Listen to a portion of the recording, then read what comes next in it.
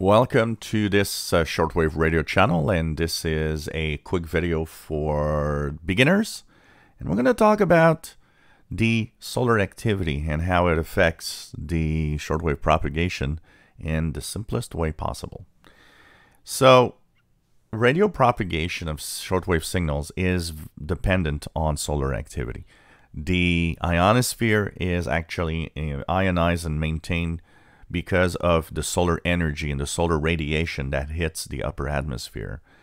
Now, depending on the amount of energy the sun is sending us, it changes the properties of the ionosphere.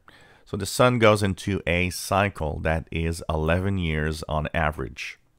We are right now at the low part of the cycle. And we're going to have a separate video talking about the low part and higher part of the cycle and what it means.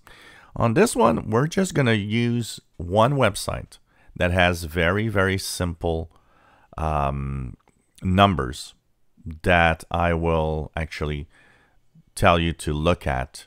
There are, uh, you know, there's a lot of different things that can be looked at. There's websites with, you know, the quality of propagation of certain uh, bands and so on.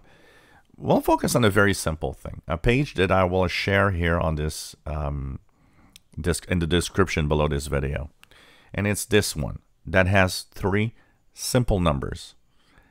And that is the basics of the understanding of radio propagation.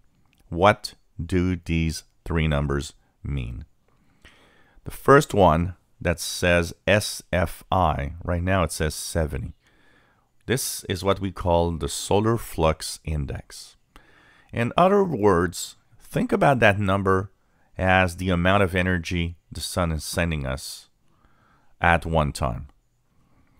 It it goes from 60 at the the lowest that can it can be is 60. The highest I believe is 400.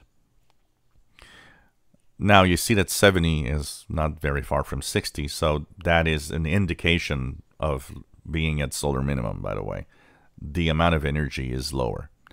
That affects shortwave propagation, and we'll show you how it affects shortwave propagation in the next video where we're going to talk about the uh, differences in the uh, solar activity and so on and what happens. So what you want in simple terms is the solar flux index to be the highest number possible in general. Let's put it as simple as that. Once again, there's a lot more affecting propagation than just simple numbers and that simple solar flux. But for the purpose of understanding the basics, think of solar flux, that number being the highest that you want. The other one we'll look at is the K index. So you see here it says K equal 1. The K index is an indication of the stability of the geomagnetic field around the Earth. Because we have a major, you know, a big magnetic field around the planet. And depending on how disturbed this geomagnetic field is, it can actually affect the propagation of signals by destroying uh, the ionosphere, for example, by making it less, um, you know, usable. What you want on the K index is that this number, which goes from 0 to 9, stays the lowest possible. So if the K index is 0 or 1 in this case, indication that the geomagnetic field is quiet, usually indication that shortwave propagation shouldn't be too disturbed and shouldn't be too bad. Once again, it's more complex than that, but the simple terms. The A index in the middle is average. It's an average of the last 24 hours of the K index. That goes very high and it has a weird, you know, the K index goes from 0 to 9, but the A index can go above 100. It's it's the way that they actually check it out. I don't look at the A index much because it's the average of the last 24 hours, where the K index is more actual of what's happening now or in the last few hours. So the K index for me is more important, but the A index is an indication of what happened in the last 24 hours. The higher that number, that means the more geomagnetic uh, disturbance there was in the last 24 hours. So, for the purpose of understanding the basics of the basics, think about the solar flux or SFI that you see here, having the highest solar flux possible, and the K index the lowest possible.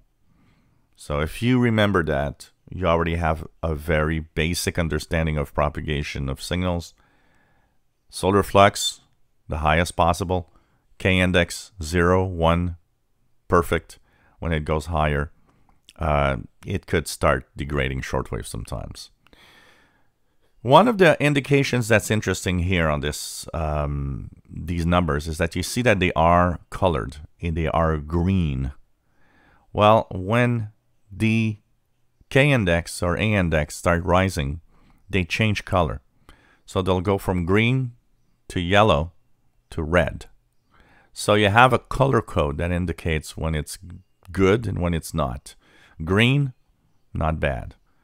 Yellow, we got some disturbance and it might affect shortwave. Red, severe geomagnetic storming and possibly, you know, shortwave blackouts and all sorts of things happening.